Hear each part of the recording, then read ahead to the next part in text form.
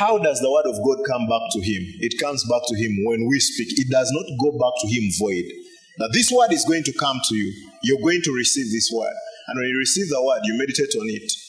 You ponder on it until it is so full in you. And then you can speak it back, and it goes back to him. It goes back to him. And it will not go back to him void. Because if it has it has roots, it has borne roots in you, then it is not going back void. It is not going back empty. It is going back full of life. So many times people have spoken the word, but they've spoken it empty. It is not full of, it is void.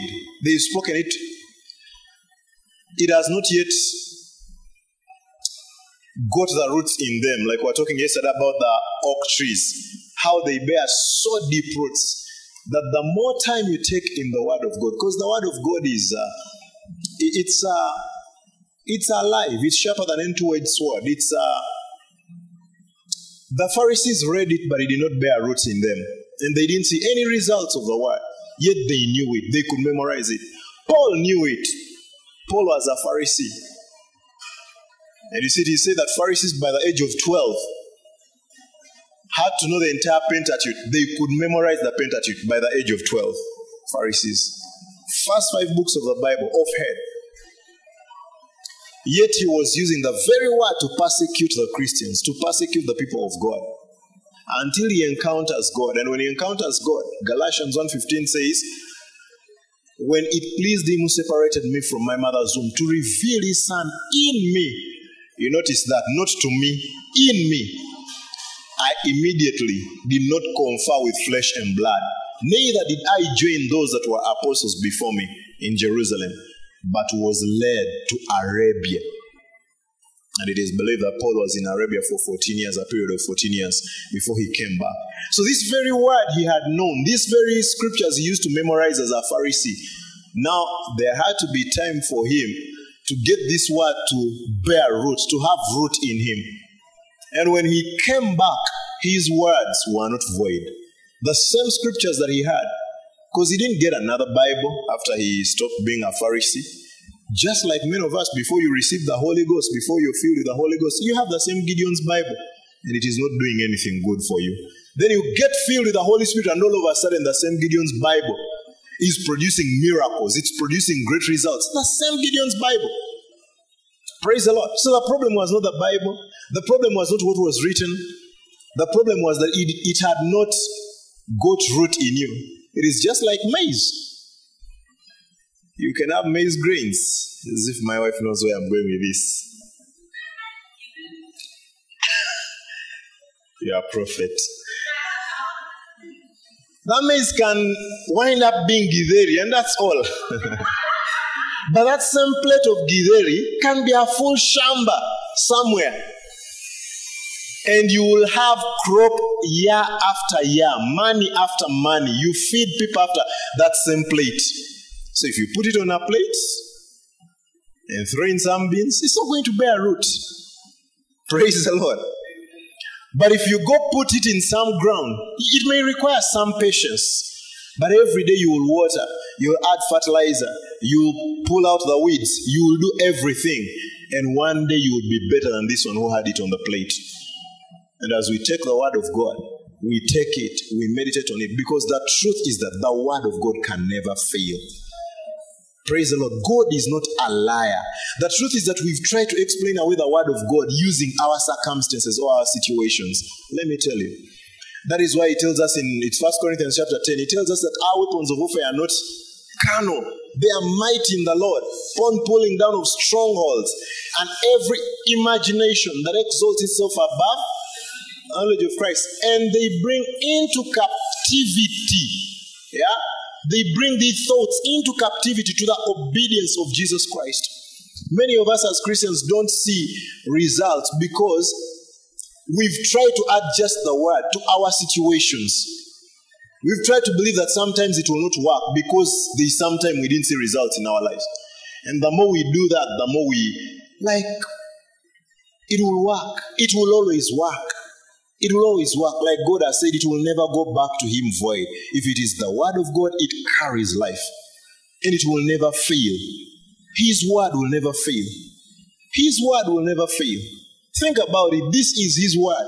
He's exalted His word above His name. This is His word. It will never fail. It didn't fail any time in the Bible. And whenever you're starting to think that it is failing, that is an imagination and a thought trying to exalt itself above the knowledge of Jesus Christ. And it should be brought into captivity to the obedience of Jesus Christ. Praise the Lord. It should be brought into captivity. And when we start living a life where we know that His word will never fail, His word never fails, we start seeing great results in our lives. Because as we go to it, we know that we don't have any other option. Whenever Jesus spoke, He didn't expect any option. Because He said, whatever He spoke is what the Father spoke. He spoke the word of God.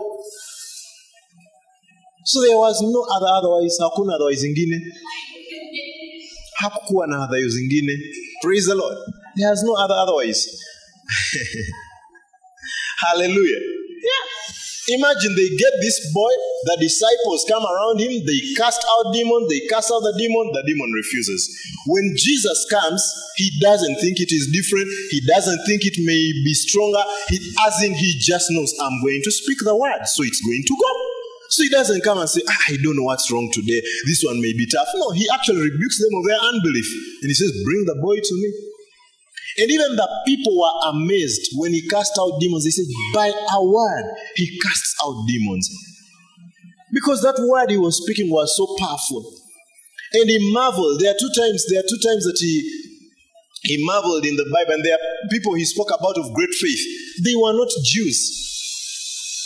Yeah? They were not Jews. It was the lady, the, the lady who said she was with the Shunammite woman. She said, Even the dogs eat of the crumbs that fall off the table. And uh, it was the centurion who said, Just speak a word, and my daughter will be fine. Just speak. That man believed that, and Jesus knew. Jesus didn't think sometimes it may work, or you may get home if you find that it has not worked, just keep believing. Jesus didn't speak that way. You know, I was seeing testimonies of, uh, uh, you know, Charles Ndifon has been in Kenya for the last like one month. Yeah, he was here in Kenya. He was in up country, Embu, where he went to a deaf school. The whole school was healed. Yeah, many of you saw that. You saw that online. Yeah, the whole school. And that is how Charles Ndifon believes. You listen to Charles Ndifon. Have you ever heard him say it will not work? No, he says it's going to work because what I'm speaking is the word of God. So why should such a man have so different results and some of us have different results? Yet we read the same Bible. We read the same word of God. It is because he's taken the limitations off of God. He never comes thinking sometimes the word may not work. Every time he comes, and you see, it's not the first time he's emptying a school. He was in Cameroon, I think, a school of the blind. The whole school was healed. He was in, and you see, these are the things the media doesn't want to report. They are not news. You see, it is just here in our neighborhood, a few miles away. A whole school. And many miracles were happening. He went to a hospital. The last time he came here, he went to, was it Kenyatta or wherever he went? And he went to the dialysis ward or the dialysis place. And everyone was healed who was inside there. How has he got to such a level? He's setting a pace. And that is why he says that we should follow, we should emulate those who by faith have obtained the promises. Instead of me as a pastor, me as a believer, instead of following someone who is giving excuses and telling me, oh, sometimes the healing will not happen, other times, no, no, no, that one has not obtained the promises by faith. I'm going to emulate these ones who have obtained. I'm going to emulate this one who challenges me to believe the word of God better. Because it works. It works. Yeah? I've told us to read God's Generals, but if you've watched God's Generals, you've watched people like A.A. Allen, you've watched all these. These guys danced before they prayed for the sick. They spoke in a way that they were. You see, Allen, they brought a man with cancer of the stomach. This man had not eaten, he's eating 21 days, and he's there on a stretcher. And then Allen is speaking, and he's like, I would rather be in a physical prison than being in a prison of that stretcher. You know, which somebody would call insensitive. But it's because he knew that this man is not going back that way. He says, Look at him. He's lost all his weight. Look, look at him. That's a bad prison. You see. Then he got him off, and when he got him off, he didn't tell him walk, he told him run. And he brought a packet of milk and whatever and told him, eat. And, you know, he had not eaten anything during that time. Whatever they would try to give him would come out. And it is because these people took the word of God, meditated on the word of God, believed the word of God. In this year, if we're going to bear fruit, like God has spoken, this is a, there is something that God was speaking to me today. Uh, he was giving me an example of uh, in a corporate in the corporate world, you're in a, an organization. Do you know that many times there are people who are laid off in an organization? You know why they are being laid off? Not that they are bad people, because they've not grown. You know that? Yeah. You've worked there for 20 years, things have changed. You worked there when people were still using typewriters, computers came, iPads came, you didn't educate yourself to be up to par. You get what I mean? Yeah, so eventually you're laid off. You're not, you're not adjusting, you're not evolving. As a company, you're very good, you've not declined in your performance, but your performance is not very needed at this level. And there are many children of God especially during this time as we're going to bear fruit, during this time that God has said, you know, God has said, God told us from two years ago, this year is going to be year of like real explosion in this ministry. Real explosion. No wonder we are having 21 days of meeting every day. We've never had such, we've never had such a time of meeting. Like a number of days like this. The longest we've met consecutively maybe has been four days or three days during maybe like conference or, or camp. Yeah, like like yeah, our anniversary. Like four days. That has been the longest. But now we are meeting for 21 days. And the truth is that there are those who have not adjusted to be able to keep up with these things. And they will be laid off. They are not bad Christians. Their competence has not gone down. It has just not gone up. It is required to go up if we are going to bear fruit. It is required to go up. Praise the Lord. Even in animals, when you're breeding animals, the animals you will take out. Not because they are bad animals, but you see, you've got better breeds. They're producing better. This is no longer relevant, and you take them out. Hallelujah. Let us not be those that are laid off. Let's take the word of God and have results. Because it is going to be too good when you realize that every week everyone is coming with crutches of people who walked, everyone is coming with contact lenses, coming with, like people have been healed and everyone is coming and you are still there. Imbia Bwana, imbia, imbia Bwana, imbia, sababu Mungu mwema, chezea Bwana. you know, you're still stuck there. It's good, chezea Bwana, but chezea Bwana, don't play him, dance for him. Praise the Lord. yeah. As you take the word of God, you take in the word of God. That the word of God upgrades us. You, you get what I mean? It, it, it upgrades us. If it, it, it is it, it, it should it's like a self-updating software. You get it? Every other time it updates itself and upgrades itself. It updates itself and upgrades itself. So the more we keep in the word of God, and that's why these examples I'm giving you, I'm giving you the example of Charles Ndifon. He's not begun ministry today. He's been in ministry for over 30 years. Praise the Lord. He's not grown cold. He's just gone high. The word in him and him keeping believing that word of God has kept bearing results and more fruit. And God wants us to bear fruit.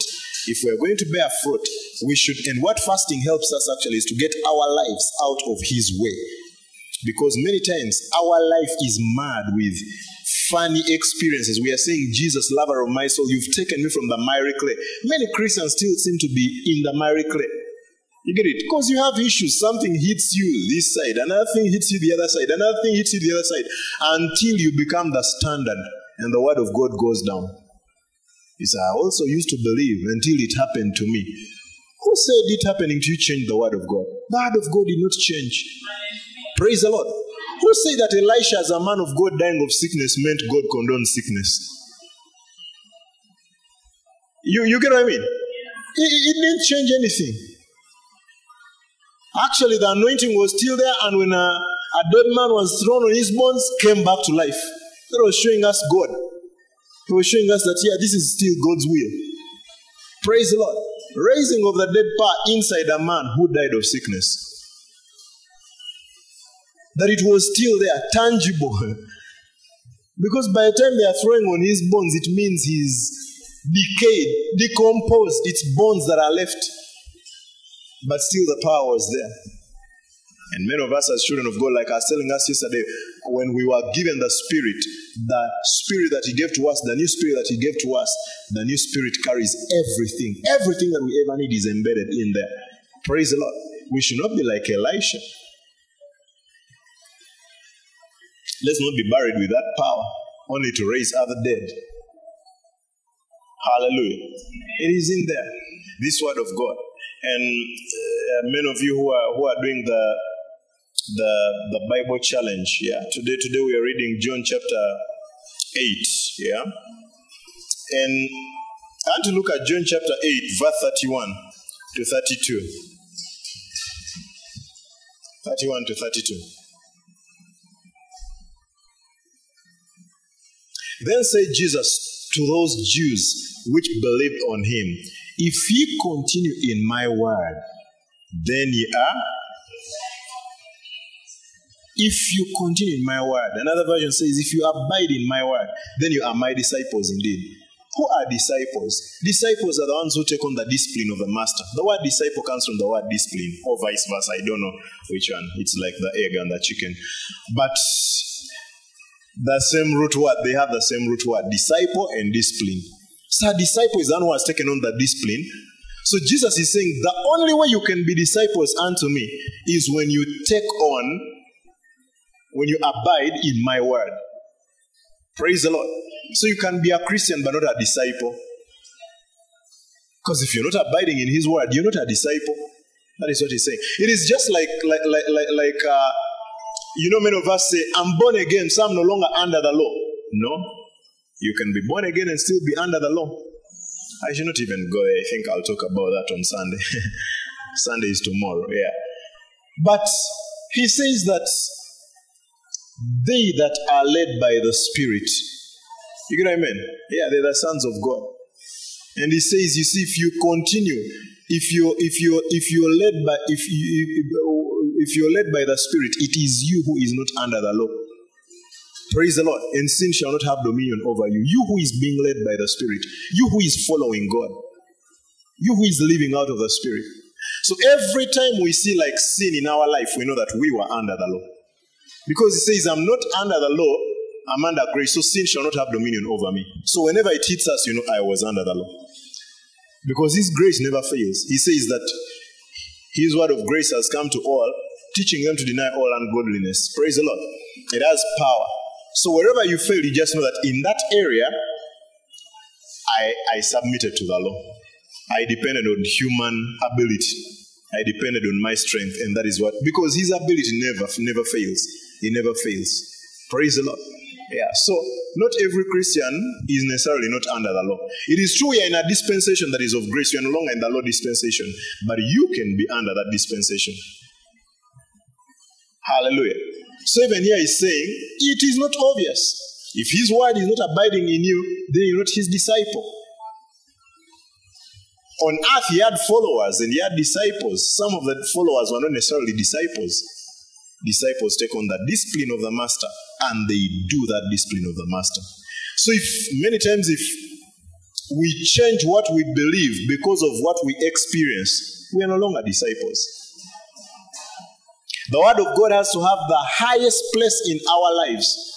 That no matter what we experience, your experience, our experiences have never been that important.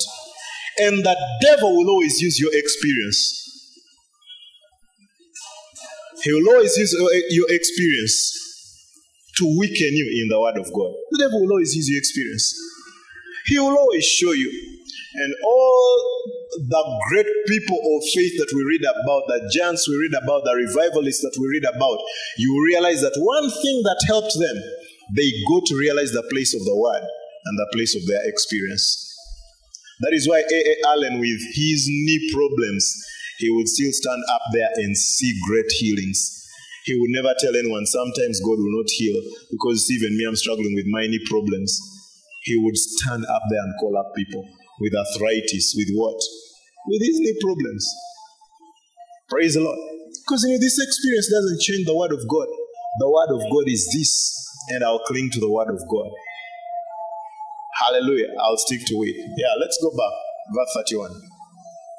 He says, Then you shall be my dis- then are ye my disciples indeed. Then verse 32.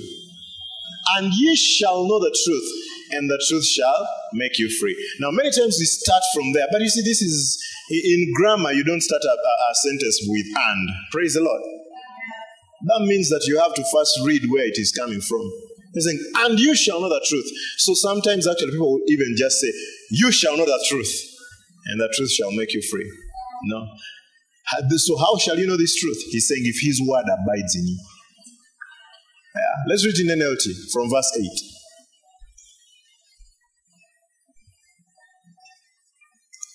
Jesus said to the people who believed in him, you see, they already believed in him. You are truly my disciples if you remain faithful to my teachings. They believed in him. But to be true disciples, they had to remain in his teachings. And you will know the truth, and the truth will set you free. Praise the Lord. And you will know the truth, and that truth will set you free. So sometimes we are speaking a truth that we do not know, and we wonder why it does not set us free. It is only the truth that you know that will set you free. You know, it's easy for you to speak something you don't know. Hasn't this COVID time showed us? Haven't all of us spoken things we don't know? Hallelujah. Praise the Lord. Yeah, all of a sudden, politicians have become more knowledgeable about immunology than the immunologists. Then, you know, as in, you get what I mean? Yeah. A doctor's temperature is taken by a security guard. Hallelujah. Things have just changed during this time.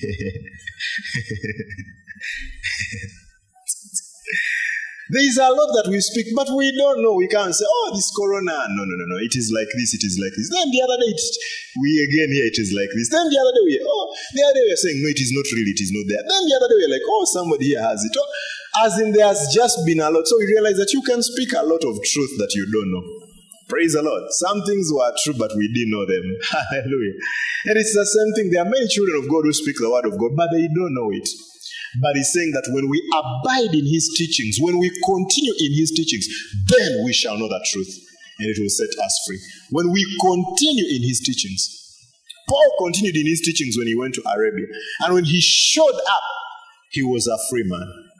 He was afraid. Because you see, you'd think as long as you're born again, you're meant to walk in freedom every day of your life. Sadly, many don't. Legally, it is there for them. Freedom was given for them. And I've always talked about this. It is just like, actually, the original does not say set free, it says make free. Praise the Lord. You know, somebody can be set free and they will not. If, if, if, if, if, if uh, you see, like, baby elephants, and they want these people who domesticate baby elephants, like in India and many of these other countries, we should get church land so that we also get some elephants. So they, they, they, they get, you know, they get a small stone, maybe a brick, and they tie onto its leg as a baby elephant. And you see, it just eats around there because when it tries to pull, it feels the weight, so it eats around there. So until that elephant grows and it is an adult, they, they, when they reach home, they are from moving, they are from the market, they put a brick on it and it will stay there the whole day. You get what I mean? An adult elephant. As in, it can walk and not even feel that there is a stone, there is a stone tied, that brick. But you see, it was conditioned that way. You get what I mean? So, if you just leave that rope on, you just leave that brick on, even if you release it and tell it you're free, it will not go because it's not set free. Growing up, we reared chicken. Praise the Lord. And you see, some chicken, if we were given chicken, we used to do free range. So if we are given chicken, uh, a new chicken would, would not know to come back if you release them to go in free range. yeah, some church members are like chicken, free range. Yeah, they don't know to come back. They just come to Ngara and they can't remember where the church is. A year later, they're like, Pastor, I'm still coming back. But so, so this chicken would be tied. Uh, you'd put a, a, thread on its leg or whatever you put and put it next to a pole, a tree, and leave it there three days. When you release it, you set it free, you remove that cord on the fourth day, it just eats around that pole. It eats around that pole. It is set free, but it is not made free. Praise the Lord. So if you go for a prisoner, you can open the gate of the prison. You've made you've set them free. But you see, they may stay there because of the mentality. This is what we are used to. This is where we have been. How shall life be out there? I, I don't want, and many Christians are that way. What if I believe and I get disappointed? They've been so much in prison. They fear to believe. They fear to dare to believe. There's life out there. We've been set free. Like, oh, the other time I believed, but it didn't work. I fear to believe again. Oh, the word of God. Ah, even so and so believed it and it did not work. Even so and so believed it. So they are there. But he's saying when you know that truth, now the truth will show you what is out there. You will not only be set free, it makes you free. You walk out of that prison. You kick that door open and you walk out. And you go and enjoy what God has for you, the fullness of what He has for you. And if this year, if we are going to, if we are going to explode and see the greatness of what God has spoken, we are going to be very daring people. Our faith needs to be up there. And that can only come by how serious we take the word of God. The truth is that church can be a circus. Hallelujah. Yeah. We can come to church and we entertain ourselves. We can come and sing, we can come and dance, we can speak in tongues, we can jump around, and yet there is no fruit in our lives. That is very possible, and it has happened to many people.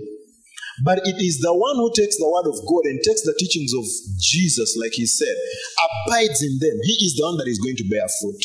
He is the one that is going to be the disciple. And no wonder these guys were that way.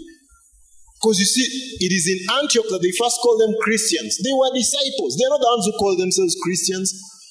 People just saw them and they're like, these are Christ like. The things they do. They are just doing things. And it was not a cool word at that time because relating up, being like Christ was a reproach. You are funny. Yeah. You're going around healing people, healing blind people. You, you're too much. We don't know which power you operate by. Now, these guys were that way. And they looked at them and they're like, these are Christians. They said, these that have turned the world upside down have come here also. They didn't need to announce. Praise the Lord. There are things that you will not need to announce in your family if the word of God is at work in you. There are things you will not need to announce. There are things that will just be seen in your life as people come. As we do an akazo, these people that we are getting out there and come here join us, will they be disappointed after they know you after a week?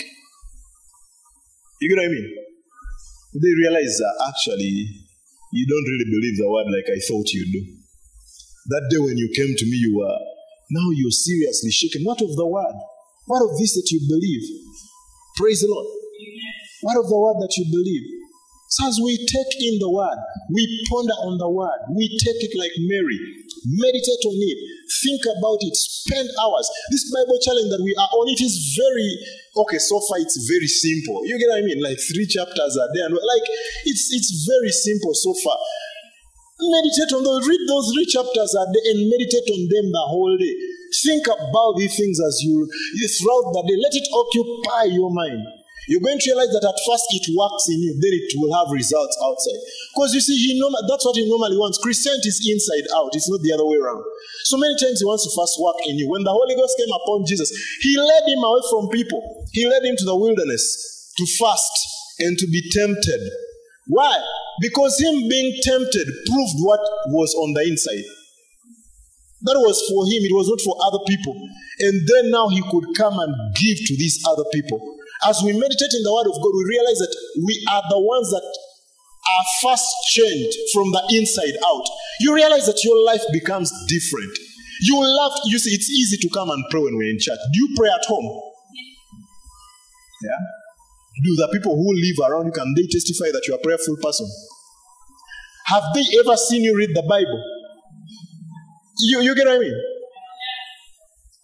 Because it first changes you. And this is a good discipline that we, we are having. Imagine every day three chapters. Let people see you. Let your children see you. Let your spouse see you. Let your siblings see you. Let your parents see you. You see, this person values the word. They wake up in the morning and they open the Bible. They take the Bible. We are hearing them pray. Because, see, the more you get in His word, the sweeter it becomes. The sweeter it becomes. You get addicted to it. Yeah? There's a gospel reggae dancehall artist called uh, DJ Nico. DJ Nicholas DJ. He's from he's from Jamaica, if you know. He has he has good t-shirts. His t-shirts are uh, they have what BA Bible addict, yeah, Bible addict. He has very nice t-shirts, and he speaks the word. I wish I could get a video and you hear him read King James in Patois. Yeah, in in hey, you know, you hear him preaching and you're like, hey, what is this you're speaking? Hmm? And Salto You see, you don't even understand it already. Hmm? But you see, these are people that have taken the word of God and you can see fruit. Because you know, you would think the world that they are coming from, change will take forever. Because that is what the world has. We've been made to believe this. And that is what I'm saying that we've taken experiences, and we, and that is why I'm saying that this year we are going to see many addicts set free here.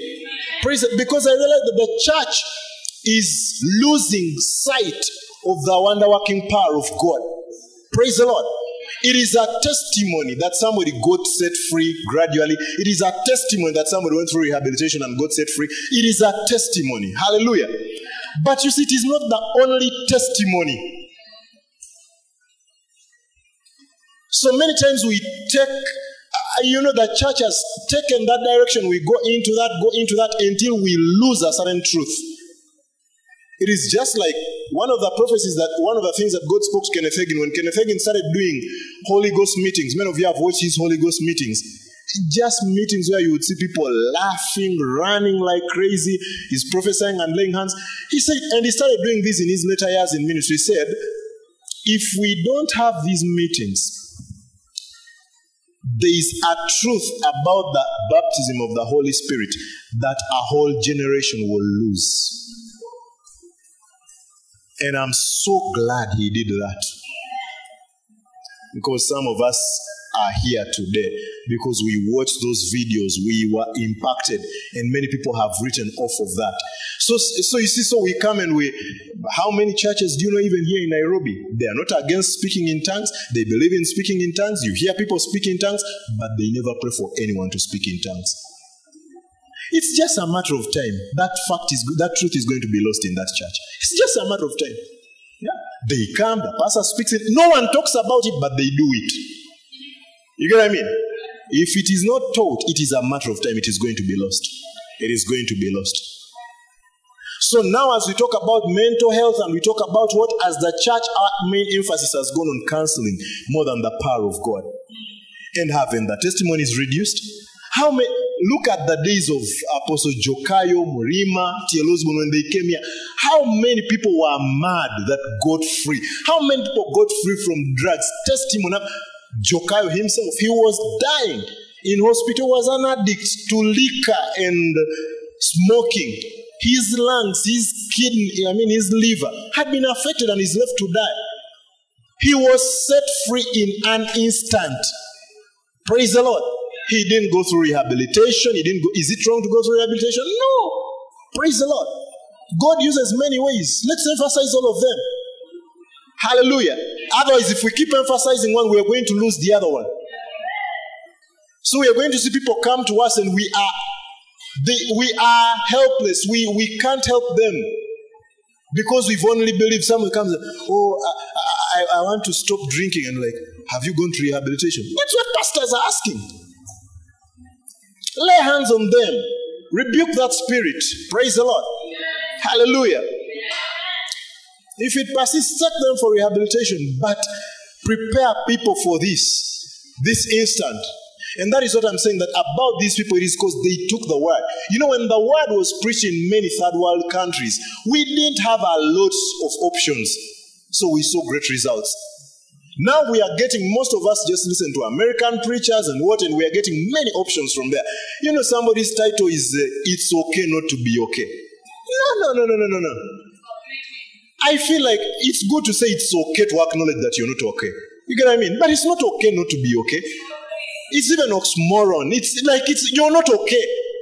It's not okay not to be okay. Get help. If it's okay not to be okay, then don't look for help. Stay not okay. You get what I mean? So there's very good catchy language that we hear out there. You get it? Yeah, all of us have our problems. You know, you hear it over and over. And you're like, Jesus kept speaking about solutions. He kept speaking about solutions. He kept speaking about life. Today we speak about problems more. We we help people embrace their problems. We help, and there is no fighter spirit in any Christian. When anything comes, they're like, oh, even Pastor so and so, I watched him on TV and he said, uh, even him, he struggles. His opening remarks are, all of us have our struggles. That is not what we want to hear. We've come to hear the word of God, not your struggles.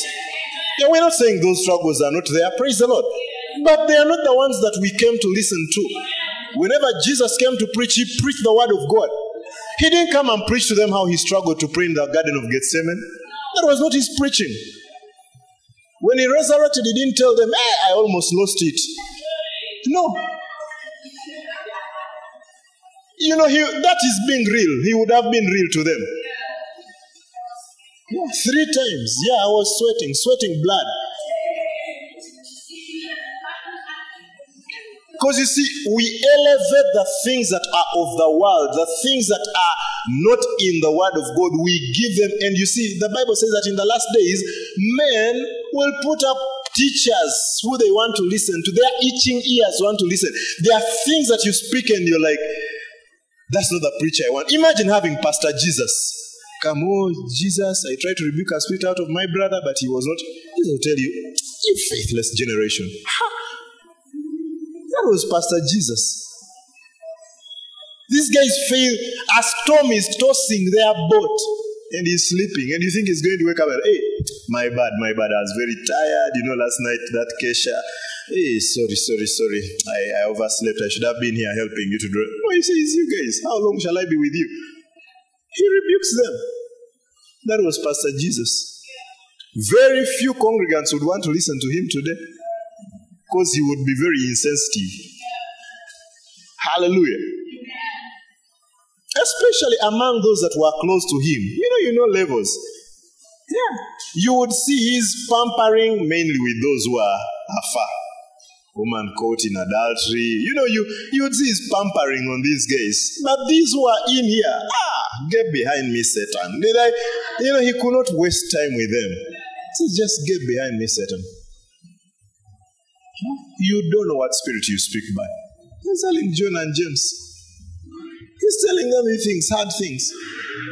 So the word of God has been watered down so much until we've developed our own traditions, of which he says that you've made the word of God of none effect because of your traditions. That's how powerful our traditions are. So if the tradition is we don't believe anyone can get set free instantly, that tradition is going to totally. And you see, that is how Christians will be okay, if it is really possible, why do we never hear of it happening? You see, that, that, that does not erase the word of God. It does not remove it, that you never hear of it. No. The word remains with its power. So that you've never heard of it, maybe should make you long to, ha- to hear of it or long to see it.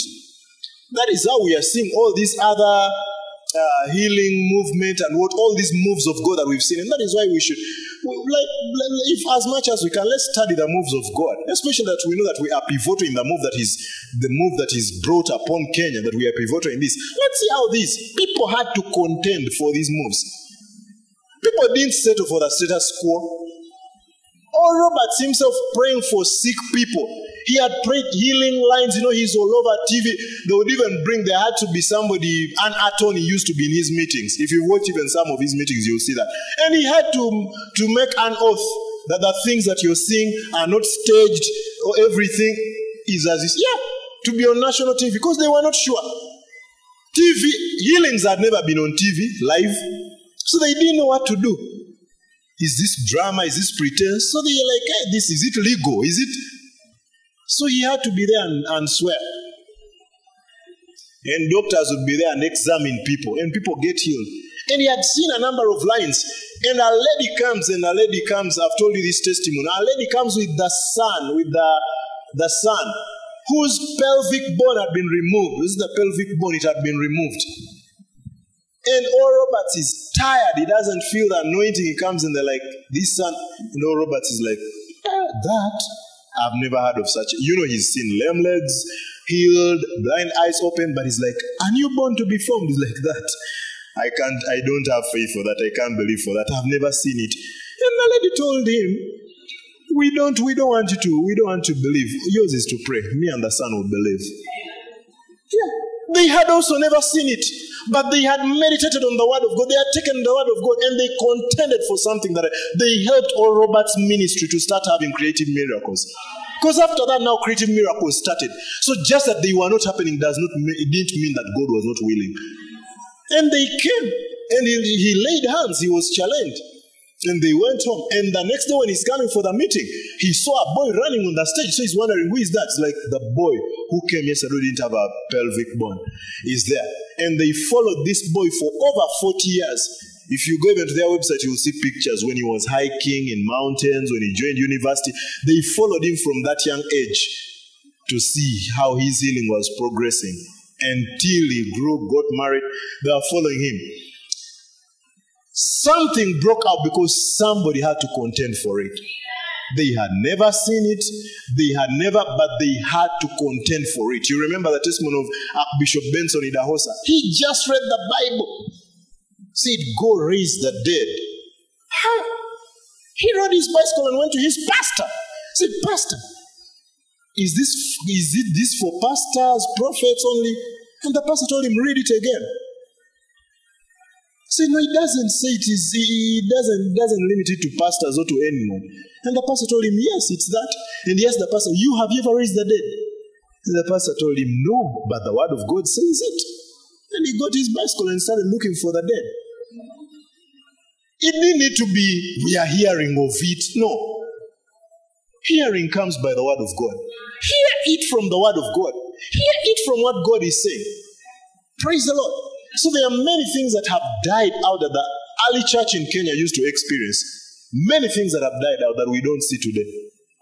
We see a miracle in church and we are shocked. And I've always told you, we have people, someone has been in church for over 15 years and they've never seen a miracle. Not they've never done, they've never seen that a blind person came to church and they left seeing. And somebody has been born again for 15 years. Like, wouldn't Peter get a culture shock if he visited church? Because as if that is what made church during their time. That, that is what church was known for. And even the early days, that's how church came here. Still in the Pentecostal move came here. That is how Apostle Joe Kayo got born again. Off his deathbed, healed. And that is how Deliverance Church was born. Deliverance Church was born here. In Kariokor. In uh, what? Social Hall. It's called Social Hall. Yeah. If you told the things that happened there, because he had just come there. And he had meetings in the afternoons. People would come, mad people, lame people, and that's how that church was birthed. And you see, I grew up in Deliverance Church, Uganda. Praise the Lord. And there are many deliverance churches where there is even no deliverance. Very far from the beginning. Praise the Lord. Like, yeah, like many, many. Today there are many deliverance churches where they don't even speak in tongues. They are a Pentecostal church. You get what I mean? That is not how it was birthed. Assemblies of God. How many assemblies of God churches do we have here?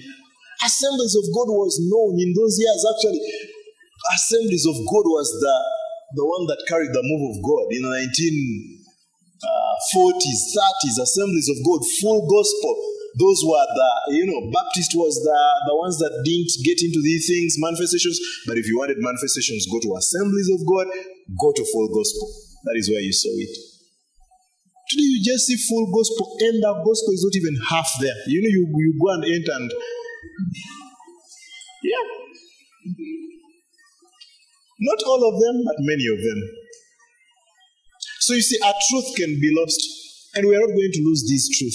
I remember when we just began, when Ratsi just began, we prayed in tongues for long. We would pray in tongues.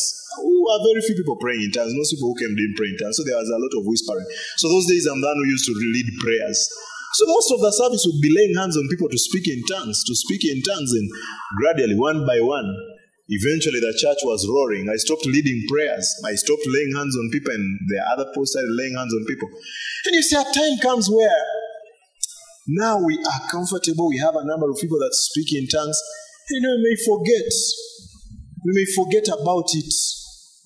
And like, ah, now we are somewhere. But you see, God always reminds you remember where you came from. Don't forget where you came from. Praise the Lord. These lights, these cameras, these screens are not the ones that have brought our growth. Yeah. We began without them. We didn't have a microphone, we didn't have lights, we didn't have a camera, we didn't have these seats. We had nothing. We didn't have a podium. You get what I mean? We didn't have any of those things. That is how we began. God does not want us to forget. What gave us the tenacity during that time? What gave us the confidence during that time? His power. We knew that we could pray. We knew that we could take His word. And we cannot lose sight of those two. Praise the Lord. We can make this place as beautiful as one. We can be up to date with, you know, we can be as contemporary as a church can be. But we're not going to stop speaking in tongues. We're not going to stop taking the word of God seriously. We know what that could do when we owned nothing. And if you take that away, we are just going to remain a shell. No power, nothing. And it is very easy for all those truths to be lost. Talk to some of your parents who are born again and watch. Some of you will even be shocked to know that they speak in tongues.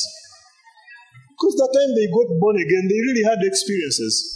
But you see, they settled. Their church, they got a Smith, Smith Wigglesworth said he doesn't want to be established. Praise the Lord. Yeah. You know, in uh, cake English, established means, it's what it would mean still today. Established means it can't move. Yeah, says many Christians are established. So he says, oh, we, we want an established church. We don't want a church where people are running. No, no, no, no. People should be established. People should maintain order. Stand still and say, Father, we love you. Look cool. We have dignitaries coming into the service. Don't act like unlearned. Hey. Hey. Don't sweat, yeah. Somebody said that crusades are not for today. You sweat, you spit. Yeah. And then we wonder why revival has tarried in Kenya. What God calls sacred, we are calling embarrassing.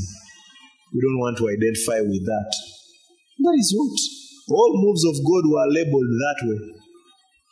They thought that whoever was involved in the move of God, because see, the move of God takes you way beyond the intellect, way beyond human reasoning, way beyond what humanity calls noble.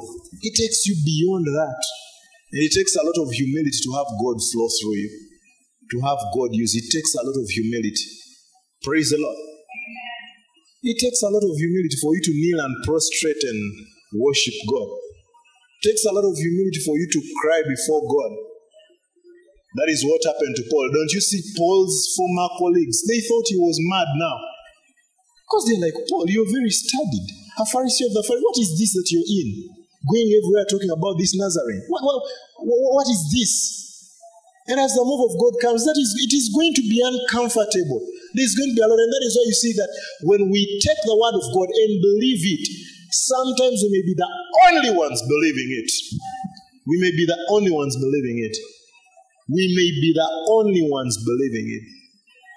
So revival has tarried in Kenya because of that. Because when it is about to happen, we become cool. Like, hey, not that much, not here. We're not a crazy church. You see, in our church, we don't have people falling around. We're not a crazy church. You are circle. You're registered under societies. You are society.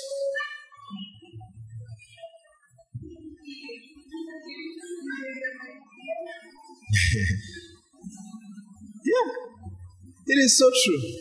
Because what God calls sacred, you're calling. But you see, like I'm saying, it starts with the individual life of you as a Christian.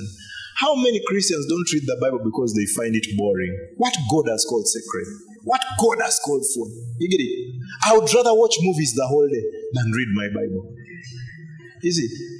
I, I would rather do this than listen to the word of God. My friend, you need a slap on your behind.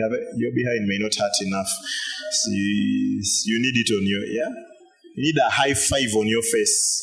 Very nice high five on your face. Praise the Lord. You need to wake up. Wake up and start. Get into the things of God. I said yesterday, God will fill you with the Holy Spirit. He will save you, but He will never fill you with His word. Get your nose in the word. Take it, eat it, like you see people in the Bible are told to eat it. Eat the book. They ate the book. Yeah. Then it was like fire in their bosom. It burned in them. Start eating it because you, if you're thinking that one day you all of a sudden going to feel like I, I, I, I want to read the word. Today I'm craving for the word. No. It is just like starting on drugs. It may not start as a craving. It just starts with curiosity. Eventually, you can't help. You just, you're addicted, like he's saying. So you start reading the Bible. You introduce yourself to it. Then eventually you'll become addicted. It will become sweeter than anything. If you're waiting for a date, it's going to become sweet. Then you start reading it. Oh. And the truth is that from the first day, telling us that stability is in having the word of God. Many ministers, and you see, this goes as a warning to me or as real caution to me. Many powerful ministers who have gone down, it is because they lost the discipline of reading the word. Do you know that I can come here and preach for a month without reading the word? And demonstrate the power of God and see everything happening? I know many scriptures right now. I preach a lot without sermons. Praise the Lord. Hallelujah. So it is very easy. But you see, I'll start dying gradually. Yeah. That is how, and like I was telling us, that is how we get into, you realize that certain habits are coming back, things you thought you had overcome. Normally, when you see them coming back, just look, how is your relationship with the Word of God? How is your relationship with the Word of God? Many times. And many times, many times we've seen this, even when dealing with you, when dealing with ministers, when dealing with uh, just church members.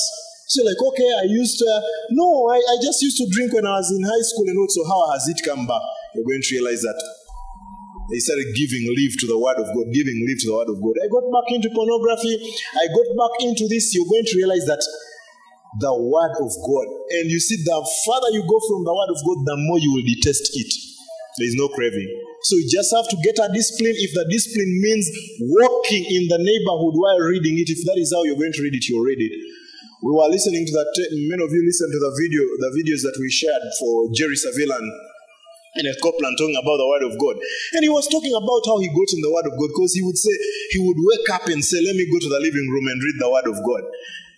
And you see, when he opened his Bible to read the word of God, eventually he would wake up two hours later. So he realizes I just changed room. I didn't, I didn't, I didn't go to do anything. You get what I mean? He would go to pray and he just kneels down there and he realizes actually he just changed room. And he said, Now I'm going to pray. How am I going to pray? He went on the bathtub, the edge of the bathtub. If I fall, I'll hit my head. If I. He said he started praying from there. Praying from there. And he said a few a few days later he hears the flesh telling him, Now you've mastered, you can now go to the room, you will not sleep. He's like, Oh flesh, I know your tricks. I'm here. and he prayed until he was so sure he loved praying. He would just wake up praying, and now he knew he could go in any room and even pray for the whole night without. That is discipline. Eventually, he started loving it. The Bible says in, in, in, in Hebrews chapter 12, verse 11, it says that in the beginning, discipline is not fun. In the beginning, discipline is not easy, but he says it is the well trained that enjoy a mature relationship with God. The well trained. So during this fasting, one of the things you should learn if you've not been keen on it is reading the Word of God. I think I've emphasized that enough this week. Get in the Word of God. Tune in. Praise the Lord. Hallelujah. People are watching online and watch. If you're not here, tune in, watch online, be there. Listen to the Word of God. Go back and read it. Many people, when, when they are not in church, they, they are not going to watch. They have a good excuse as not in church. They are not. You should. This is your. This is your life. Though you're keen to eat food that you don't want to miss any breakfast, you don't want to miss any. Yeah. Yeah, it is kept for you even call. uh, keep for me supper, I'm coming back. Keep for me this, I'm coming back. No, we should treasure the word of God more than we treasure any of those things because the truth is that the word of God is more important than any of those things. And the truth is that some of the struggles we have in life are just a word issue. You don't need any deliverance. You don't need any hand laid on you. Just start taking the word of God. He says in Psalm 119 that he says that the entrance of thy word bringeth light. Praise the Lord. And in John, he says that darkness cannot comprehend the light. Darkness cannot stand the light.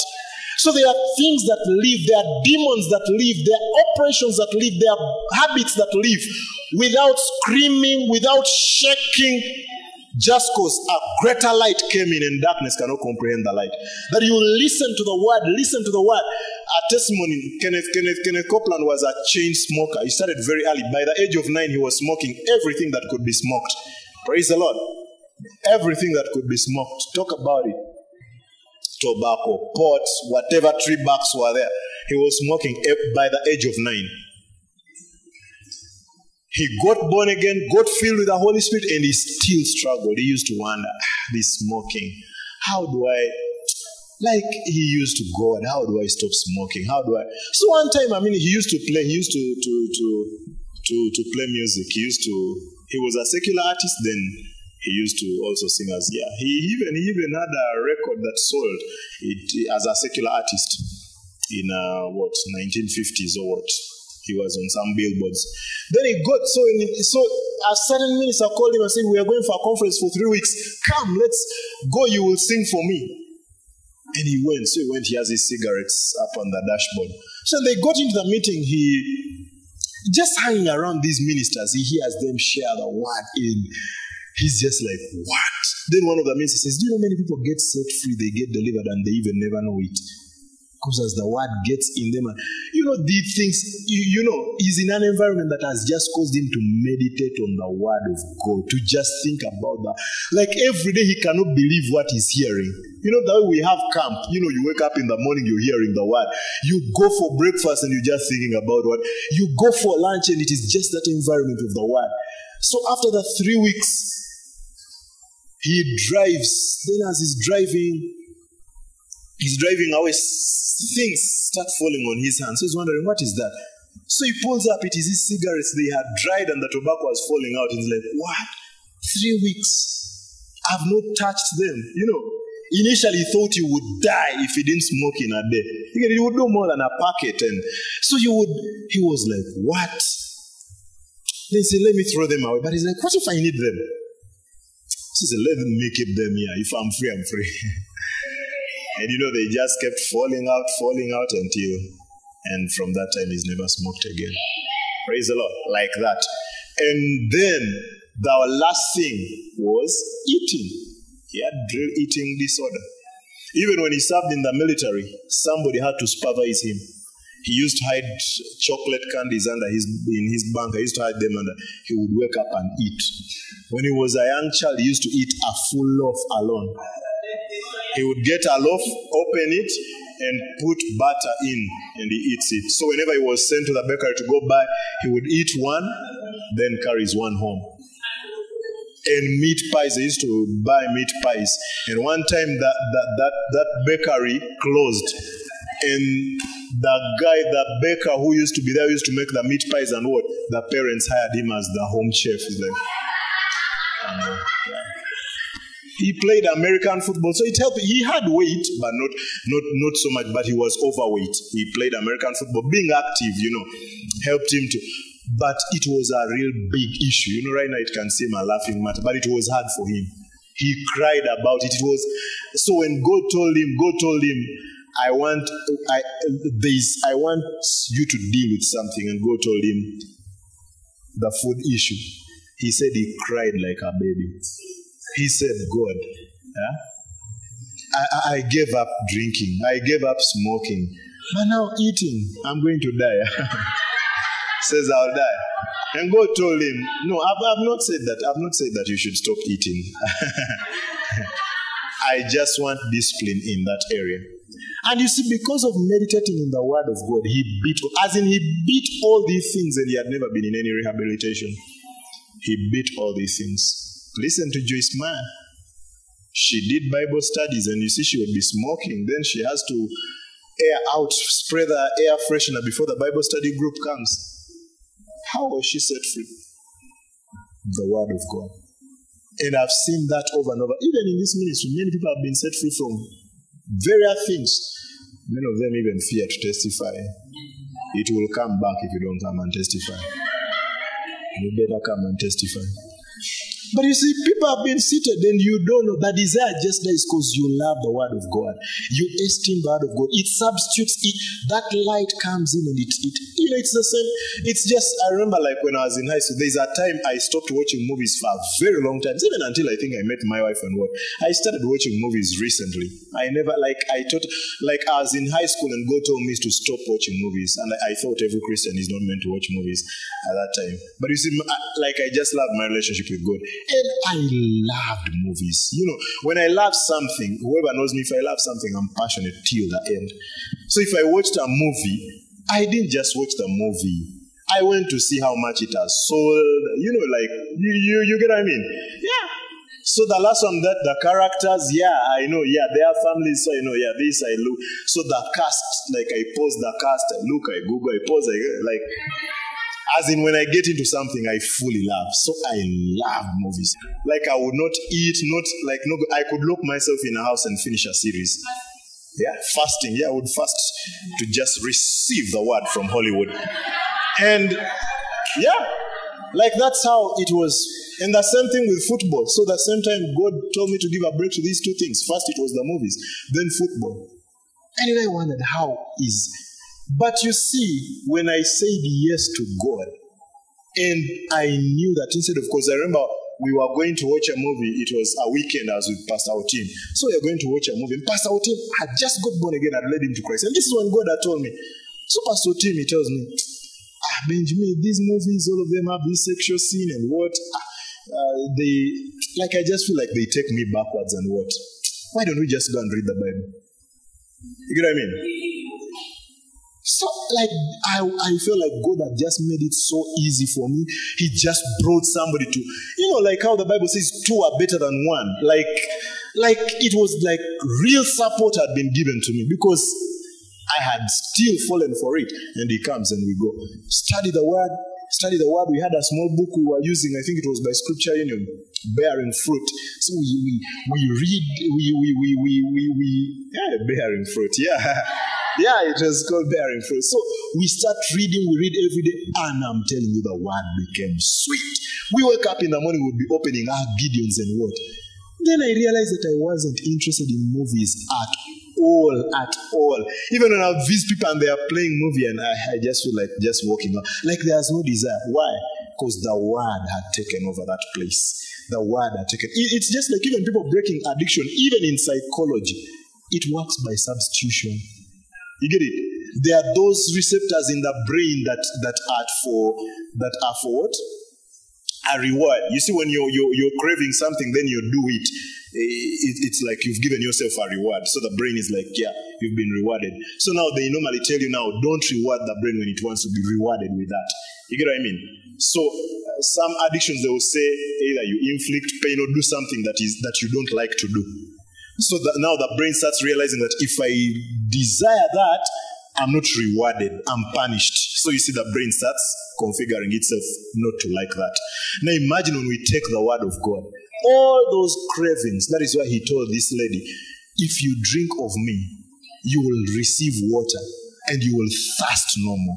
Because this lady had gone to every one man, two, three, four, five, and she thought the men were the problem. Five husbands. This one doesn't have enough money. This one is not this one is not so good. This one is not tall enough. This one is not dark chocolate. This one is not you know, just she just thought the men were the issues. And Jesus said, What you are fasting for? So whatever he thought movies were giving me that I would see and until I felt I can you know, imagine I'm in high school. You're in high school how you have restrictions. But you see, they on the phone browsing. I had a Motoreza, and you see that time you browse with uh, Opera Mini. You know, you you move that cursor very slowly, letter by letter. Then you know you, the letters are on the numbers, so you have to you know to get the number. Then you're there just trying. Some there under the desk trying Hancock. Uh, when is the release date? When is it premiering? Then I'm in school. I'm like, wow, when can I get out of school to watch this movie? How do I get it? Okay. Then I had a friend who used to go out every weekend. I'm like, can you bring us this movie? Can you? Then you know there were MP4 players. You know there are MP4 players, touch screen before there are smart screens. Some people don't know. Yeah, there are MP4 players. So at first there are MP3 players. So that time some students had brought MP4 players. You find you're seated there watching a movie. What was I longing for? What was I craving for? You see, some of you, that is it. I know I'm speaking to somebody. That addiction to movies is going to be broken during this fast. Yeah, get set free. Movies are not bad. But if they own you right now, yeah, you're losing your life. You're losing time. You're losing time. Soaps. Yeah. Yeah. Yeah. Hmm. Eh, sio ushindi. Yeah. Yeah. They, they, they, they, they, they, these are things, and I'm telling you, that day you give them up for God, you're never going to regret. You're going to be like, wow, I've been missing this kind of life. I've been missing this kind of life. This is the life that God had for me a life of freedom. That you can get home and talk to people. You get what I mean? That you can notice the changes on people. Yeah. How many husbands don't know their wives have changed their hairstyle because they are watching movies? Yeah. They don't know what is happening with their children. Yeah, it is true. You say, I'm telling you this, but you say, we deal with, with married people. At times, it is this. This is the issue. People get to their home and their children hate their dad, the wife doesn't like the dad, or even friends with people at home, and every time they come home, they are just in their room on the computer. They are just, it just takes your time. It sucks life out of you, and it kills your productivity. You wasted years. You are daydreaming. You're at work, you're not as efficient as you should be. So some of you are just going to have to delete Netflix. You're going to totally get rid of those things. You get what I mean? And I'm not saying they are evil. You get what I mean? Just like anything, food is not evil. You get it? They are not evil. But if they're the ones, if they become your master, during this time, give yourself to the Word of God and see the miracle of the Word of God. It will be a very wonderful substitute, a dangerous substitute. The Word of God will become sweet. You'll be longing to hear the Word of God. You'll be every, even when you go to YouTube, you're just looking for where the Word is being taught. You're listening to sermons. You, you know, you're just excited to just hear the Word of God. It, it just something leaps on the inside of you and you will see the productivity in you and look you know look at even many people who have taken the word of god seriously who are not necessarily preachers look at their lives you get what i mean look at strive masiyiwa how long will strive masiyiwa speak without speaking the word of god praise the lord many of you have heard of tim tebow you know tim tebow yeah i think fast to cross from two professional you know professional NFL player, American football player, crossing to baseball at that level. As in, he's just done great things. But if you see how the man values the word of God, have you heard of the Benham brothers? If you've not heard of the Benham brothers, Google the Benham brothers. Two twins, they were playing baseball. They are also professional players. So full of the word of God. Actually, they are behind. If you've seen Bible Bee, the Bible Bee, whatever, uh, for kids, for competitions, you'll always see they are seated there, those twin guys who are seated there. Those guys are full of that. They are not necessarily, I'm a preacher, a pastor, but their parents taught them the word of God. They took the word of God. And they can't fail in life. They have good success. They had a reality show because they're into real estate as business. And because they were branded homophobes, was it ABC or those TVs they were on? They all pulled them down, cancelled their contracts. They thought they were going to suffocate them in poverty. Praise the Lord. Their name grew big. As in, you know, you look at this one, you're like, indeed, this man who delights in the law of the word of the Lord and meditates therein day and night, whatever he touches shall prosper. Because this guy, imagine from being great American uh, baseball players, being great in the on re- reality TV, being great now in whatever they are doing, like they just kept going. Look at people that know the word of God. Look at people that know the word of God. Look at many. Look at Dave Ramsey. How many of you have worked Dave Ramsey?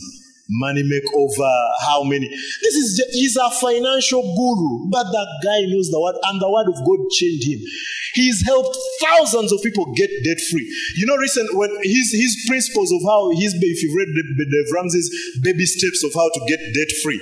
You know, many secular because he's a Christian. You know, definitely the left, the secular world has attacked him a lot. You know, his methods were so dispro- disapproved by many people. They came against them, financial scholars, professors, and what, and they went and studied them. They were studied in Harvard, and they're like, actually, they work. He's not a financial professor. He has the Holy Ghost. Holy Ghost downloaded. You see him preach in a church and you may think he's a pastor by calling. His number one calling is you see him preaching. He's preaching in many of these churches. He's getting people debt free. He has things that work. The bonuses last year, but one, all his employees, Christmas bonus was a thousand dollars. Even the janitor, he has over a thousand employees. All a thousand dollars per employee.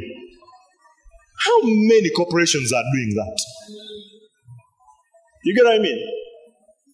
Full of the word of God. You will be the best up there. The word of God. This is the word that is able to build you and give you an inheritance amongst them that are sanctified. You take in the word of God, your gloom will go away. I'm telling you, whoever is taking in the word of God, there is a joyfulness about them. There is a cheer that you see on their face every time. There is a warmth that they just have. They are like that tree planted by the waterside. Praise the Lord. They, are happy. Why? Because you have made God your source. You've made God your satisfaction. You've made God your all in all. It is Him. He's become that. The Samaritan lady was sad. She comes to the well alone when there is no one coming to the well.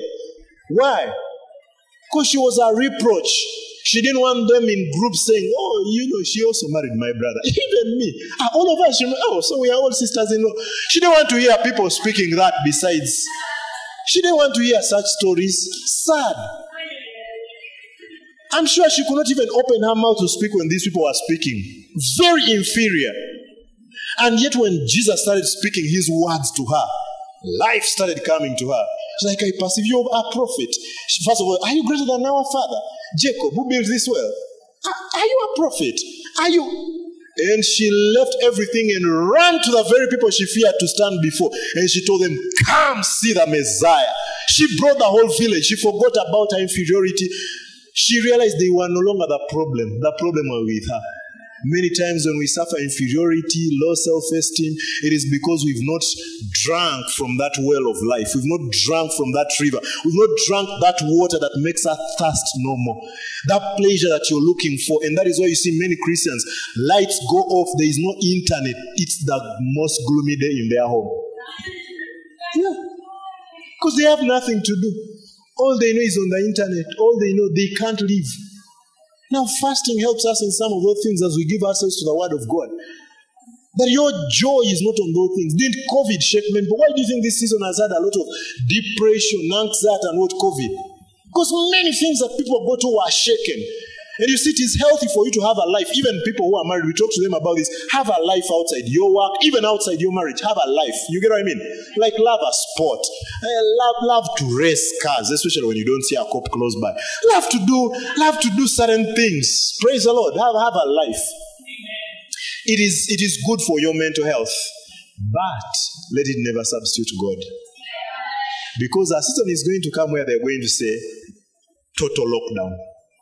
No driving these kilometers, no football match to watch, bars are closed, uh, no entertainment, no this. What is going to happen? You're going to stay at home and be depressed and die. Yeah? And it happened to many people during this time. Yeah?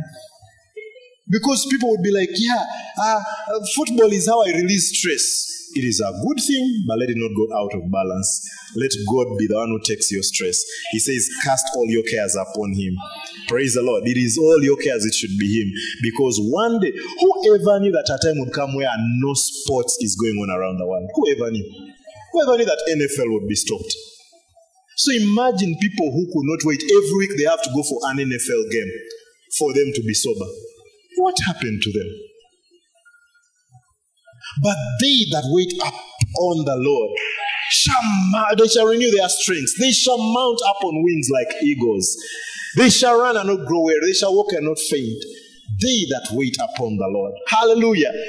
We shall why mount up on wings as eagles? When the storm has come, when COVID has come, we are happy. Say, oh, there is no football, there is football. There is no movie, there is no movie. Even series, many series were paused during COVID. I think people were just there checking their computers every day. When is it coming back? When is it? Lost time. Imagine during COVID, you would have read the Bible five times, cover to cover. So now let that affinity start. And when his rain comes, like we've said, when his anointing comes, his rain will fall on ground where there is seed. You'll bear fruit. What has God spoken? You know, I want you to just think about this right now as an individual. What are those things that God has spoken to you? Why have they, why haven't they come to pass? Hmm? What are you meant to do? Why isn't it happening? Have you been a joker? Have you been lazy with the word of God? There's a time God spoke to me. I was in college, and God spoke to me, and He's like, "Do you know how far you would be?" Hey, that word haunted me the whole semester. Like, you mean I could be far? Yeah? I gave up many meals. I missed more meals than I had. I, as in, I was like, what? I would be far. And as a minister, I was just thinking about it today. God spoke about 2022, two years ago what we would see. And today it hit me that it is not obvious.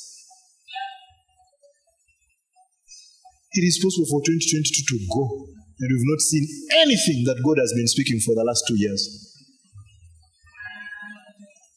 Because we have to cooperate with Him. Like just God, I just have to take in this your word. I was even telling my wife yesterday, I'm like, hey me, I'm not going to read through the Bible at this pace. You you you get what I mean? Like it's okay, guys. If you've never read, do once a year. Praise the Lord. But you know, I, I'm aiming for three times a year, cover to cover. I'm aiming for three times a year. Because I'm like, there is a lot at stake. If we are going to see the things that God has called us to see, first of all, as a leader of this ministry, I need to have so much word in me. So much word. But my reflex should be the word of God. You get it? So and so is sick. Be healed in Jesus' name. As in, my reflex should be the word of God. That should be my reflex. Hallelujah. It should be my reflex. It should be my reflex. Whatever is being said, it should whatever is happening around, my reflex should be the word of God. So I need it so much. So I need him so much. I don't want hands to be laid on me to just become bald, like I was telling you yesterday. Let those hands find word in there. I don't want a hand to be laid on me. Bishop Isaiah prophesies to me, and uh, I'm the reason those prophecies are not happening. I bear witness in my heart. God is going to open nations to you. God is going to open this to you. This year, these things are going to happen. And God looks, there is no foundation and nothing is happening. I don't want to be in that place. I don't want to be the one sabotaging God. Like the 10 spies. You see, I told you yesterday that two spies, Joshua and Caleb, they had the word. They had heard what God had said. The others, they had circumstances and situations. They, they spoke reality. You get it? They can say, oh, we were like grasshoppers. Those guys are giants. They were they spoke reality. Let the word of God be above reality. Because it is reality. Discipline yourself to read this word of God. Wake up in the morning, read a chapter. Afternoon, read. You, you know, you're not going for lunch break. I mean, for lunch, to eat during lunch break. During lunch, read the next chapter. In the evening, read. Let make sure you're reading those three chapters a day. Eventually, it is going to become sweet. You know that children are introduced to sugar. You know that natural human beings are, are not sweet tooth, so they are not like sweetness in sugar is an acquired taste. But almost all of us love sugar today.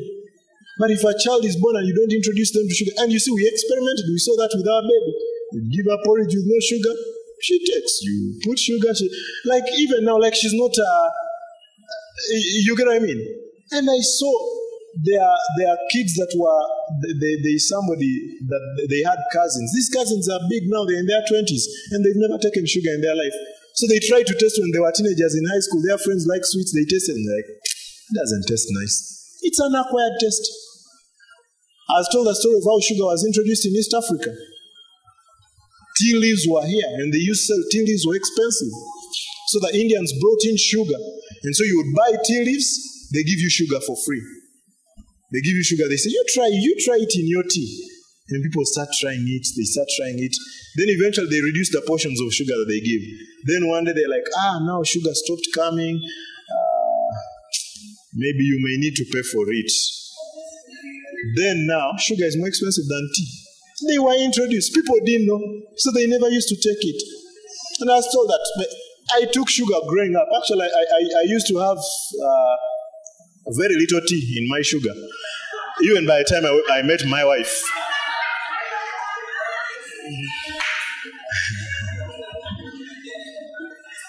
yeah, but recently, I think two years ago, so this person was telling me, was telling me it's an acquired taste. He was telling me because like, because I love teas. I love the like different teas, flav- flavored teas. Yeah, I, I like any black teas. Like I, I, I love many teas. So I was telling me, you take them without sugar. He says at first it may be weird, but as you keep taking, eventually you don't want sugar because you feel like sugar takes away the the flavor. Even coffee. So people have come to our home and tasted my coffee and kabaya. Mm. But, but you know, I take black coffee with no sugar and I feel, now I can tell, oh, this is AA, this is Java AA, now this is Java, this is Kivu, this is this is the Rwanda one, this is, you know, you take it without sugar and you can, but you see, to it, I, you know, I'm a daring person. You get what I mean? I do many things not because I like them, but you see, if somebody has told me it works. So when they told me that the first time I didn't like that coffee, but kept taking it, kept taking it, kept taking it, until now it is what I like. The same thing with tea. I'll take black tea any day without sugar, and I'll take it, I'll take it, I'll take it. Then I realize actually I can I can live without sugar. I love chips. You see, my Kikuyu name is Karaja. Many of you think many of you think it's Kasankya. eh? Me, I'm called Karaja. Benjamin. Benjamin. Benjamin. Yeah. Benjamin. Pastor Beja. Benjamin. Benjamin Karaja. So I love waru. You know, I, I just I see waru and my my my tongue starts doing it. huh?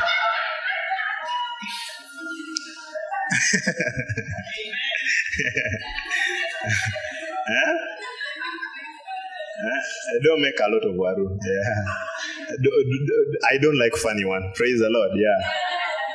Let it not be floating and hitting a tomato, and that's that's not the one I'm asking for drowning. and I'm not talking about that drowning needs a lifesaver. I'm not a lifesaver for Waru. that so so I love I I, I love I, so I love chips. I love fries. And you know when we when we got married, that's one thing that my wife made. Hey, she made for me many fries and different potatoes in the oven with uh, rosemary, not the person, the, the real. uh, you know, rosemary is a cook, so you may think they made together. That now. So last year, last year, last year, but one, now going to, to the gym. So I went and I did a body composition test. And when I did a body composition test, I realized my visceral fat was very high. And you see, that's why you see even thin people can have high blood pressure. Actually, many people who think they don't have weight, they think it's not necessary to work out. Yeah. I mean, don't be lied to. That cause your physical fitness is not for losing weight. Yeah. You will grow old very fast. Praise the Lord. If you think it's about weight, it's not for losing weight. Yes, I realized my visceral fat was very high. And as much as I love chips, I told my wife I'm not having any fries. And I think for like three months I didn't have fries. As in that's why I'm saying like I like to discipline myself. I like to go at things that that so try to face some of the things that I had. So you see, and, and when I went back, even the coach was so amazed that my visceral fat had gone way down, like to very healthy, like like I was healthy. Actually, by one month already, because I cut out. I wasn't eating any mandazi. I wasn't eating any junk. Even food that we used to eat here in the office, I stopped eating. Like, cause eh, I don't know the cooking oil that is used and what, like just like just a discipline like that. And I didn't take any soda. I didn't. I didn't take any processed sugar and what. And you see, with visceral fat, you can't work out visceral fat. Just have to discipline your eating. Yeah. So that that, that, that, that discipline, it's the same thing when it comes to the word of God. I know I'm speaking to somebody. Praise the Lord. I know why I have dwelt on this. There is somebody here who doesn't feel like the word of God is exciting to get into. Start it by discipline. Later, you will love it. You will feel the flavor that it has. You will feel the aroma that comes from it. Hallelujah. Praise the Lord. Get into the Word of God. Get into the Word of God. Do you know during every time of prayer and fasting, we take most of the time praying? You remember, like even last year, in the beginning, we just come and pray in tongues. Pray in tongues, there is very little teaching. But this time, God emphasized this to me. You know, I was talking with that team when I was telling them and asking me, How is this program going to be? I told them, During this time, I'm going to teach. We're going to have the word more than we're going to pray. Let people pray at home, let people pray before they come. Because see, all the other fast, whenever we come, we come and we just pray in tongues, we pray in tongues. But God told me this very serious. This year, there's going to be a lot of emphasis on the word of God. Because it saddens me to see some of you, especially that some of you are the one who prophesy to you, and I see those prophecies have not yet come to pass. You get what I mean? Some of you I don't even know, but you know that you're not where you're meant to be because you've wasted time. Yeah? How many hours does it take to watch three movies? About six hours. And you can't have 30 minutes in the Word. You get what I mean? And you wonder why you're like, look at some of you. In the last few years, you've become sickly. You are not a sickly person. No sickness started coming to you. Because you lost your love for the word. You realize the more you get in the word, you realize. He says, Incline your ear to my words. They are health. And he was talking about your physical body. You just study the word and you're like, wow, I've not fallen sick. The flu season has come. Mean, I've not got it. Everyone has it, but I don't have it. This has got just being in the word of God. Your accuracy in how you hear God, the word is the one that tunes you. You stop making some funny, funny mistakes. There is joy you have. Your relationships are working. You're not fighting all the time because of the word of God.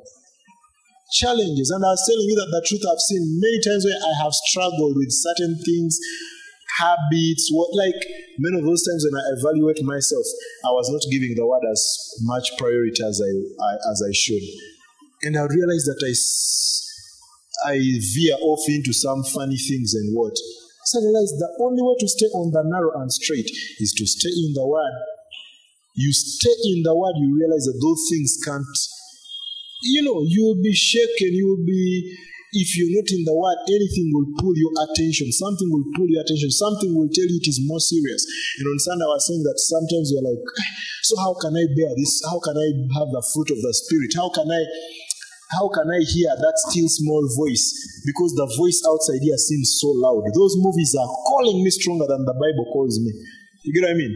I reach home and my computer, my screen, or my Netflix is just saying, You're welcome home, you're welcome home, you're welcome home, you I missed you, I miss you. You know, you start seeing vision. The TV is off, but you're seeing Netflix. You hear that. You know, you're hearing it, and you're just looking at your TV and you're just hearing it doing. You're like, hey, you're welcome, mom. I missed you. I missed you. Your subscription is going to end. You've not utilized me fully. You've not utilized me well. Those are the voices you're hearing. So, like, Pastor, how do I silence such voices? By starving whoever is speaking those voices. When you don't feed him, he grows weak. You look at how some of you can't say hallelujah very strong because you've been stabbed. Hallelujah. You see, she's the only you see, you can't say hallelujah because you're there, you're reserving your energy. You can't wait for that coffee. Hey, Pastor, that coffee may be cooling. And Pastor has talked about taking it without sugar. We are not taking it without sugar. No. Take it with, you need sugar for your brain. Take it with sugar. Take your coffee with sugar. yeah, you know, you. So imagine feeling that, like if you, when you're weak, when you fast, yeah, you realize that you don't want to talk a lot. You realize that you don't.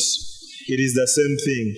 That Netflix, that one, two, three movies, IMAX, Showmax, whatever it is, if you starve it, it is also going to grow weak. You get home and that voice is not as strong as your Bible. You you get home and you're remembering, wow, I didn't finish my Bible reading for today. Let me just go finish those few verses before I shower. Let me go. Let me, and then you start conditioning your dreams. You know how you condition your dreams also? Because your dreams, they, they come from the spirit, some come from just the soulish realm, they are barely in the soulish realm, some are in the, they are totally carnal and demonic, some are demonic. But you see, purpose, that the last thing you see before you sleep is the Bible. And the last thing you, the first thing you see is the Word of God. You start that, you're going to be so amazed at the dreams you're going to be having. You get what I mean? And then you're going to be amazed how you easily remember. You're going to learn to memorize the word. Because see, the last thing you, you when you slept, the last thing you read or you listened to as you read, the last thing you are thinking about is normally the first thing you will think about in the morning. So imagine you finish like tonight, let me say we are reading Job 6, Job 7, and, and John 8. And you see, these portions are very interesting if you read. You know, Job told these guys in chapter 6, you guys, you guys can even sell an orphan to slavery. You know, that was funny. I just read that. And it's true, these guys didn't seem to be Job's friends. The things that Eliphaz is telling Job. Like, is this guy Job's friend? And Job is telling them, my friends at least would have pity. These guys are just telling Job hard things. Like you, you can even sell an orphan to slavery. you know, they are interesting things. So imagine you read these things. You now you go home, you read chapter 8 of John.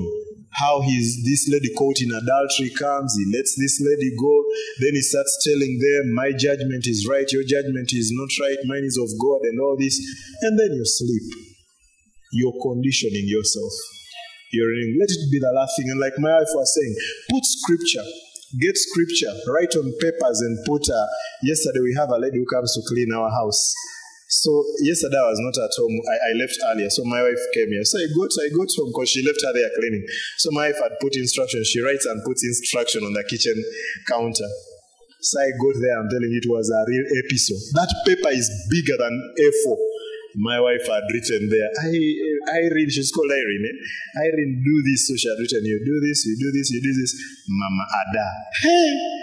I said, babe, this is a real episode. It must be to the Galatians. You see, the Galatians. As she wrote on her, I'm like, hey, my wife, hey, this one, she can't miss it. If she does any mistake, we can refer back to the episode. This is a very large episode. Paul said, you see with how large letters I write. Now, my wife, yes, I, yeah, then she put her money for paying her there. So, how did you take the money and didn't see the instruction? I saw it. I'm like, wow, the word is working in my wife. She, even that part of Paul writing with large letters, she's taken it. But you make them right. Some of you have very good handwriting. If you have bad handwriting, you can call, you can come to some of us. But you see, you write.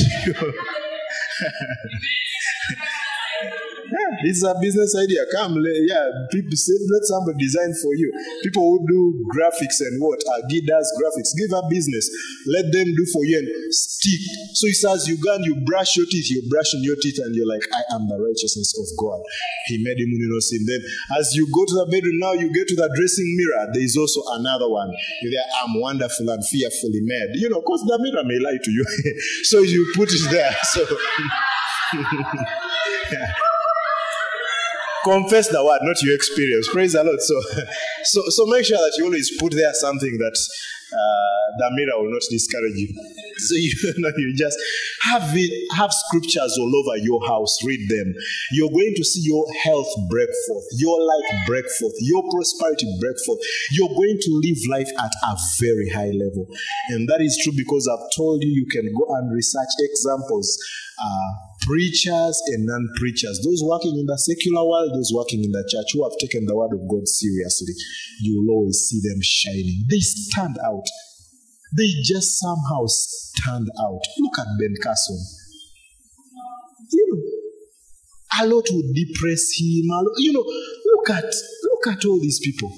The word just makes somebody stand out. This life it just gives to you. Praise the Lord. And testimonies of even Christians who have gone down. Recently, there's a testimony by Pitson. You know, Pitson sharing how he went through very bad what he was sleeping around and what. Ah, after doing Lingala yes, you know, he became famous and what the things he went through. But you know, you're going to realize that all this came why? He didn't have time for the world. He was a celebrity. And the truth is that we may laugh at Pitson. All of us are on the same road. Yeah. If we don't take the word seriously, you may not be a celebrity like him, but you're going to go down. And like I've told you, you can come to church and pray all the tongues you want. Praise the Lord. You can harmonize from behind there. But you see, yeah, your life will not have that harmony. It will be ending here. That's the truth. Even like different testimonies that we've had, even you remember, even even Robert Burale. I think many of you had his. Te- when I came to Kenya, his testimony was still new. How he, whatever he had gone through, pornography, masturbation, and what. But you see, he really he realized I have to get in the Word of God. I have to get in and see his life. Robert Burale is not a pastor. You get what I mean? But you can see that he's somebody who is shining. He's not married. You would think, because people think marriage is what will give. He's living his life. He's not waiting for marriage. He's not waiting for, but he's somebody who has the word.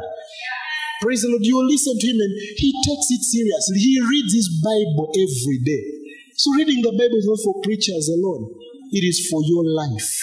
For your life. You get in that word, you may never need another hand laid on you. You may never run around for another prophecy. Because whoever is prophesying to you, they learned it from the word of God. Whatever impartation you're, receiving was learned from the word of God. Hallelujah. Let's bow our heads. Father, thank you for everyone that came today. Thank you for the great things that you're doing in their lives. Let your word bear fruit in their lives. Holy Spirit, let them see you as a teacher. Even for those that are watching, I know some people are watching, and it's true. It's been so hard for you to get in the Word of God. You start, you read two verses, and you feel like it's boring. I want to do it as a discipline. Wake up in the morning, hold that Bible, walk around with it. Get out, wake up very early at five when it is still cold outside. Go there with your phone and start reading and say, Holy Spirit, teach me. I'm going to be disciplined. I don't feel like it doesn't feel nice, but I know it is necessary. It is like medicine. It is like when you're taking medicine. You don't say it is sweet. You don't say I like it. You know you have to take it. If you've been told it is three times a day, you need to take it three times a day. If you've been told it is daily for 20 days, you will take it daily for 20 days. That this is how we are going to take the word of God. Holy Spirit, teach everyone the word of God. Teach them let them see it at work in their lives. Let them enjoy it. That even as we go on with this year, we will surely see the fruit. We will see the explosion you've spoken about in this ministry. We will see impact going beyond borders because of this word that you have spoken to us. And that when your rain comes, as it keeps coming, that it will come on soil that already has seed in it. Thank you, Father. Yeah, let's get up on our feet and let's let's raise our hands. I want to speak this prayer over you. I want to receive this. I want you to say amen to it as you receive it. Yeah. The Lord bless you and keep you. May his face shine upon you and be gracious to you. The Lord lift up his countenance upon you and give you peace. Peace that's from above. As your pastor, I bless you with this. May you reach the purpose for which you were created. May you have courage above your peers. and have more passion for the things of God than others think is necessary. May you dream more than others think is practical. May you expect more than others think is possible. May you choose wisely without earthly bias.